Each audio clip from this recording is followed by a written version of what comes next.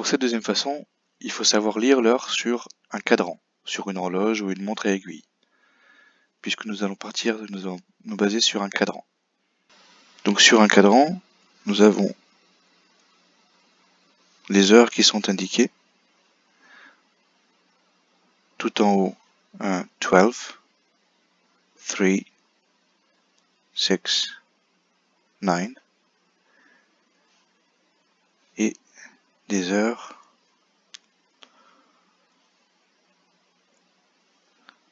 one, two, four, five, seven, eight, ten, eleven. Ça, ce sont les heures. Ces heures, elles sont indiquées par la petite aiguille, qu'on indiquera donc en noir.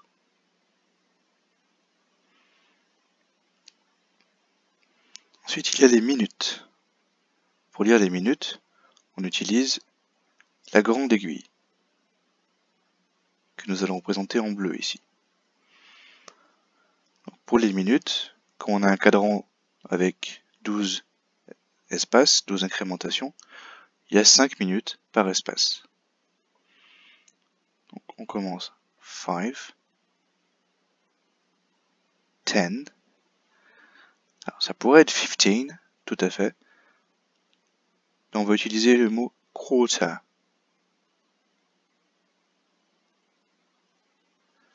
Ensuite on reprend 20, 25.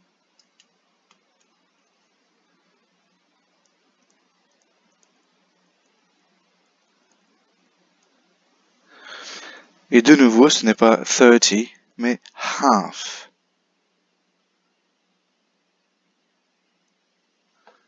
Pour la demi. Donc là, on arrive à la moitié du cadran.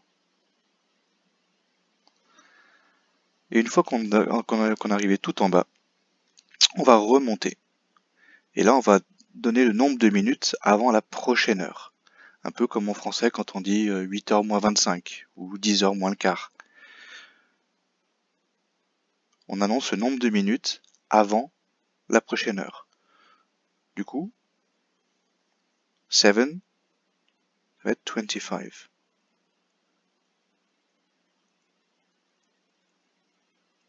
Eight, twenty. Nine.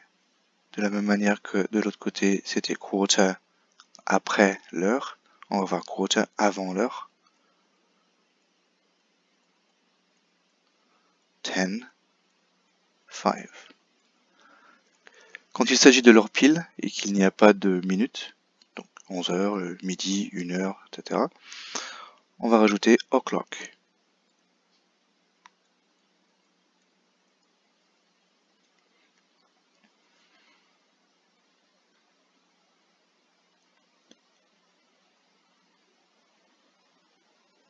Il faut évidemment savoir lire l'heure avec euh, les aiguilles. Maintenant pour dire l'heure, maintenant qu'on a tous ces nombres, dans la première partie du cadran, qu'on va symboliser par cette flèche ici, donc de la première minute jusqu'à la trentième de l'heure, donc de one à half, on va utiliser past quand on va construire l'heure. On verra en dessous juste après. Ensuite, quand il va s'agir de remonter, on va utiliser to.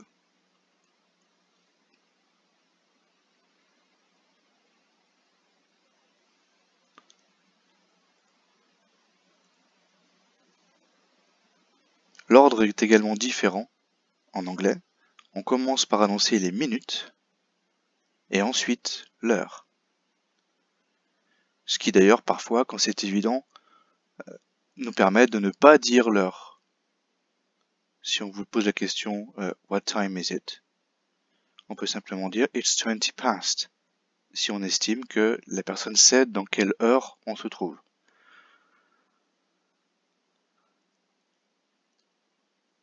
Ce qui ne va pas changer en revanche, c'est le fait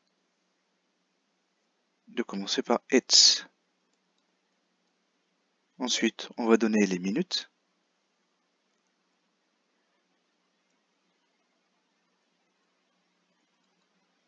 Minutes. Suivant le où on se trouve sur le cadran, on va, on va ajouter soit past, soit to.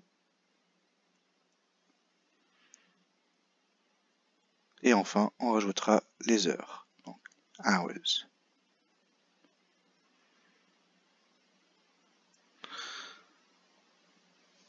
Le H de hours est muet, tout comme le L de half d'ailleurs, je n'ai pas précisé tout à l'heure. On va prendre un exemple. On va mettre une petite aiguille et une grande aiguille. Donc la petite aiguille sera ici. Et la grande aiguille, on va la mettre euh, ici.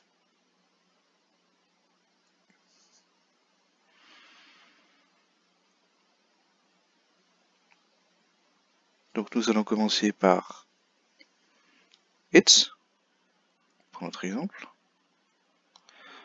On donne les minutes, donc on regarde la grande aiguille, on va dire qu'elle est vers 20. Euh,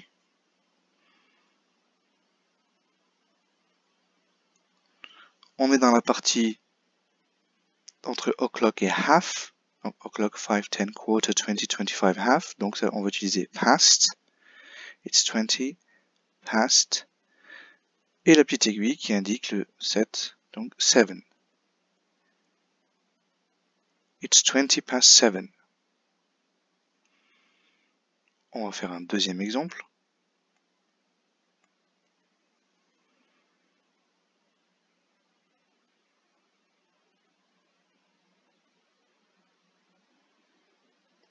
Cette fois-ci, la petite aiguille montre le 1 et la grande aiguille va montrer le 10. Alors c'est le 10 pour les heures, mais également le 10 pour les minutes. Ce qui va nous donner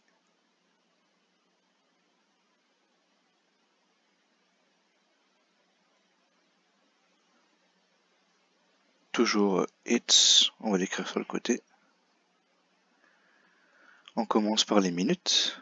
10. Cette fois-ci, on est entre half et o'clock, c'est-à-dire qu'on remonte, donc on va utiliser two. Et l'heure, c'est one. It's ten to one.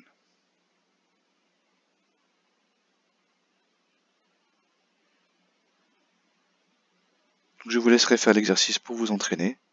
N'hésitez pas à regarder à nouveau la vidéo et à poser des questions.